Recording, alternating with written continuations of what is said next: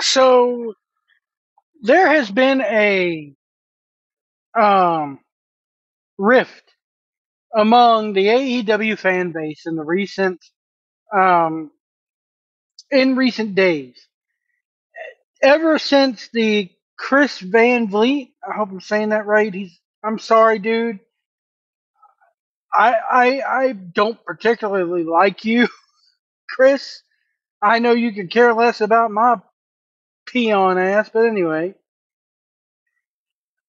eh, he just comes off as very, very, very arrogant to me, and I don't like people like that.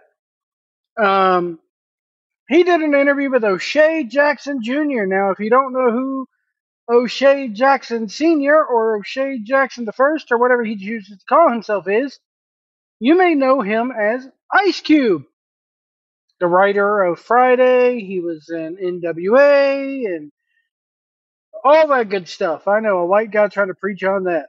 Any, anyway, um, he has a son who looks just like him, so much so that he played Ice Cube in the Straight Outta Compton movie, which was phenomenal. If you've never gone out of your way to go watch Straight Outta Compton, it's worth purchasing. I'll just say that.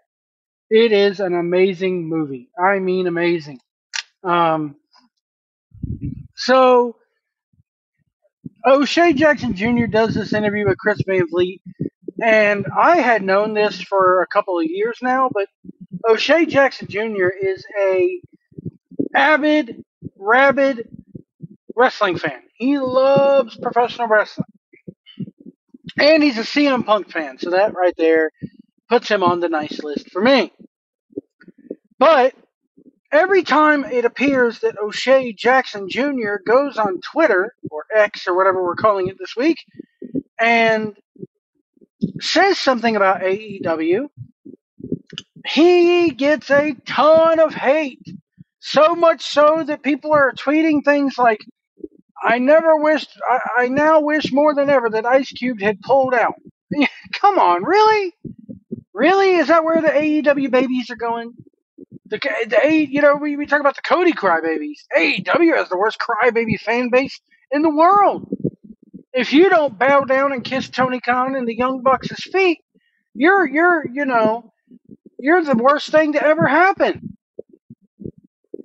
So O'Shea Jackson Jr. responds to these guys. And I'm going to put in right now what he had to say. I'm going to put in the clip from the interview. Hey, Chris Van Vliet, if you're out there, do not copyright me. Okay? Fair use. You're, you're a former news reporter, so you should know all about the fair use gimmick. But here's what O'Shea Jackson Jr. had to say about fans, AEW fans specifically, attacking him on Twitter. I'm a wrestling fan at my core. Mm. I watch WWE, AEW, New Japan, TNA. I watch it all. Mm. You seem to really like to rile up AEW fans. I don't mean to, man, but like the issue I have is okay, for people who don't watch anything besides the two, okay? The for uh the either whether you're you're younger or, or older, stuck in your ways, if I'm watching someone on AEW and I ask who is this guy, I don't need you to tell me I'm not a real wrestling fan, to tell me how could you not know such and such who did uh, who gives a damn? Like I, I need you. All right, inform me, bro, or at least have your programming in a way to let people know why you should love this dude, why you should fuck with this guy. That's something that I feel like is missing. When you, Conan, when I was on his podcast, he brought up when you watch UFC and they give you a little backstory about this dude, backstory about that dude. Uh, what this guy's had to go through, what he's done, and vice versa. And then they put him in the room and they cuss each other out. And then by watching those videos, you've picked a side Yes. of who you're with. That's missing from that.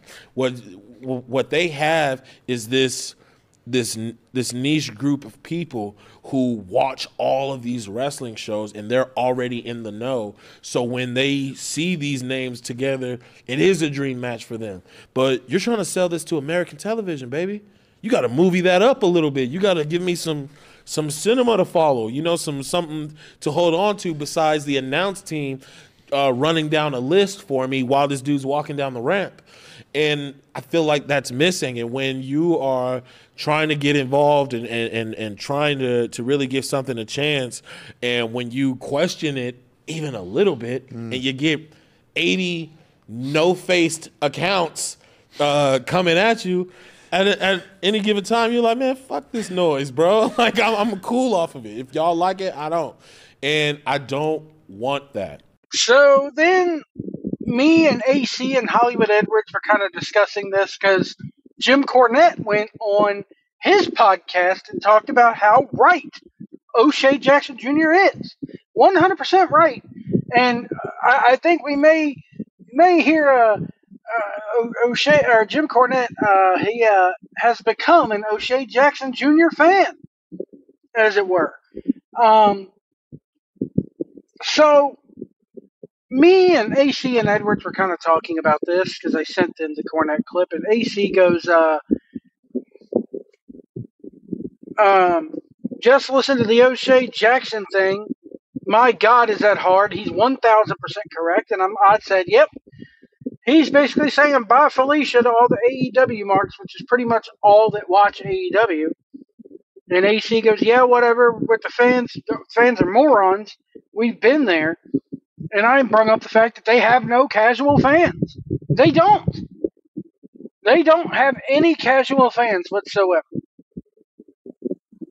And he goes, I'm talking about his points on playing to a cult fan base and assuming your audience knows everyone or, and everything, or giving a background uh, story and hey, this is why you should care about the individual. He goes, um, all and I and I typed back and I told him all of AEW fans are read are internet reading cult fans, and they are. And AC goes, it's not what they want or don't want. They are cult because you can't criticize anything. It doesn't matter what you say. If you don't say it's great, you're wrong. The content of what he's saying doesn't matter to them. And he's 100% right. And it's like this. If you don't go into AEW, and the fans are to blame here. This is why I'm calling this video, and I hate using this word, but the AEW fan base is toxic. And it's toxic against its own product, against their own product that they're cheering for. It's a smarts only club. And that's the way the AEW faithful want it. As I receive new messages here, let me see what are they sending me. Oh man, the joys of being a truck driver. You get messages at all calls of the uh, night. Uh, well, just bull crap about healthcare plans that I don't subscribe to. Anyway, sorry folks. Um, so it's it's mil- it's it's people. These AEW fans have people like Dave Meltzer to blame for evolving into this. And and here's what I mean by this. If you don't go into an AEW show without doing your homework, they're going to laugh you out. They're, they're not going to pay you any mind. You're stupid to them. You don't like AEW if you don't go in there knowing everything ahead of time. You got to do your homework for that fan base. You know, it, it's like it's like you know, if you don't read every copy of the Observer, if you if you've never read any every copy of the Observer, if you've never seen every New Japan match, uh, circa nine, uh, circa 2015 forward, um, if you have not watched AAA in the last five years, CMLL in the last five years, and every single episode of AEW Dynamite, then you're just scum to these guys. And that's just toxic, man. They don't have any casual fans because they don't want casual fans. It's like a a, a smart boys only club. It's like a, a chess club where if you don't know how that rook moves and you don't know that the pawn can move and this way and that way, They don't want to know you. You better know your stuff ahead of time because heaven forbid the announcers should have to take time away from the flippity floppity flappity flu to tell a story and give some background as to who someone is. And what O'Shea Jackson Jr. was saying is, I, you know, the announcer should be doing that also, but also, you know, they should give a little bit of a video package or a vignette about these guys and build these guys up. I should not have to come in there automatically knowing who these people are. They've done it many a times. Hell, their own announcers have done this. I remember somebody ran in in the early days of TNA and, and Sockface, aka Excalibur, goes, That's such and such from such and such. And Jim Ross literally goes, Who? And then they had to explain who this guy is. And the AEW fans criticized Jim Ross for that. You should have known who he was ahead of time. And they're just, there is no more, they're all Meltzer followers. They're all Meltzerites who follow Dave Meltzer's every word. They are on his team 24 7. And if Meltzer says that they're good, oh God, they got to be good. If Meltzer says they suck, we're going to boo them out of the building. So it's just that's the way it is. It's not that they it's not about what they like and what they don't like. It's it's that if you don't go in there knowing your your you know your home doing your homework there and you show it, they're gonna bash you for it. And it's wrong. It's not the way wrestling should be. This the, the Tiffany Stratton. There are a lot of people who don't watch NXT who watch that elimination chamber and bam, the star is born. They they want to know more about Tiffany Stratton. So I'm hoping WWE on SmackDown gives us a little bit more background on her. In fact, I think they have done that on SmackDown in the last few weeks since she's debuted. You can't expect fans, you know, it's like every little kid who grows up watching baseball their dad, they sit down there with their dad, hopefully, or, or their mother or somebody, and, and like I had to do with my son. This is how you keep score. They keep score. This is what a run is, a hit is, an error. This is a base hit. This is an out. This is a strike. This is a ball. Here's the strike zone. You got to teach people this. You can't expect them to just go on there and automatically, you know, not everybody is going to automatically know it.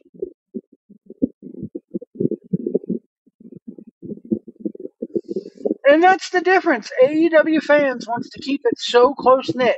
And I never will forget Meltzer's, you know, when, when Cornette had Meltzer on his show a few years back before they had their falling out, and I, Cornette point blankly asks him, What about the dick spot? How can you like the dick spot? And Meltzer's answer to everything, whenever Cornette would go, how can you like this, this, this, this, and this? It goes against everything that the business has ever stood for. Meltzer's thing was, I don't like it, but the fans like it, so that makes it okay. No, it doesn't. No, it doesn't. I'm sorry. The fans are wrong 90% of the time. I've been telling AC and Hollywood Edwards and everybody else the same thing about the Young Bucks for years. And now that they're finally showing it, now that they made it to the big time and are finally showing their true colors, they come out and say, I was right. Just because you like it and just because you laugh at it doesn't make it good. It's just like in Hollywood nowadays. Disney is finally learning just because it's diverse doesn't mean it's good. And the casual fan part, I, I truly believe that there are no real casual fans in wrestling anymore. I mean, that, that quips that argument right there because, you know, I, I've said it before on the channel. I've gotten quite a few people into wrestling over the last couple of years since they started coming around my family and being around my family. They go on YouTube and watch people who regurgitate Meltzer and, and, and Sean Ross Sapp and everybody else. They all watch the dirt sheets. All you got to do is go on YouTube and type in WWE, and the third video down is going to be some fat white guy like me talking to you like this about the behind the scenes stuff. But that's what all AEW wants. AEW doesn't want anybody beyond that to be a fan. The fans and, and the fans want to keep it that way. There will never be any casual fans with AEW because, like I said, unless you go in there as a smart, a smart mark, knowing your homework and knowing who main evented the Tokyo Dome each and every year, and if you can't name every main event of the Tokyo Dome for Wrestle Kingdom in order and state the winners, you're not a real wrestling fan and we don't want you here. That's the way AEW fans are. For better or for worse. And I'm, I mean, that's, that's just the way the majority of them are. So that's, that's my response. O'Shea Jackson Jr. is 100% right. And anybody going on Twitter and bashing this kid clearly doesn't know clearly doesn't know who they're talking to. Because guess what? He could give two flying screws about what you guys say to him. He's a successful actor who has more money than God, and he doesn't need to value your opinion. And you can't go in there calling him a Nepo baby because I'm sorry, I don't think Ice Cube raises his kids that way.